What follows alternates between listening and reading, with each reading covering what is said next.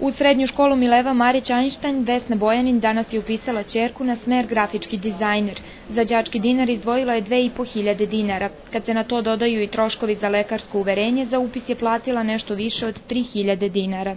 Nije veliki zatak s obzirom da pokriva troškove cele godine. Znači tu dolazi u obzir i ta knjižica koju će oni dobiti, evo i tako da.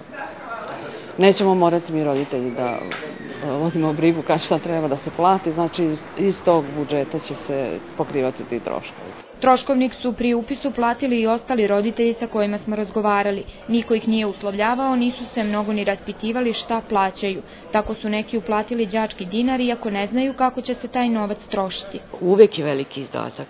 Mislim, sad, ako je to e, nešto što njima treba, mislim, Sad ne znam šta je poenta, šta, šta će biti s tim novcima. Ako je potrebno, potrebno, ne znamo. Tačno. Ste platili ovaj đački dinar, 2500? Pa nismo, zato što je ono četvrto dete u porodici.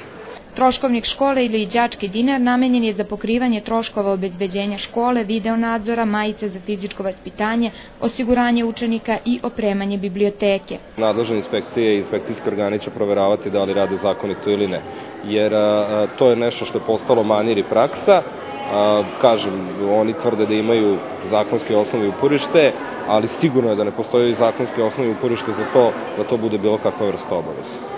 Ako dođe roditelj i nema tih para, a imamo, nažalost, imamo mnogo situacija i mnogo porodice koje ni to ne mogu da izvoje, naravno da škola imaju maksimalno razumevanje i ti roditelji se oslobađaju ili delimično oslobađaju u dogovoru sa školom i sa roditeljima. Za roditelje budućih gimnazijalaca ako plaćaju đački dinar, upis je nešto skuplji jer je troškovnik 3000 dinara.